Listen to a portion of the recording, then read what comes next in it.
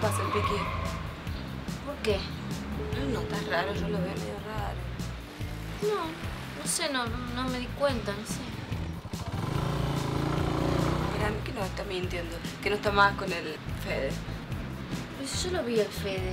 Pero no se supone que está de viaje. Está de viaje el Fede. Sí.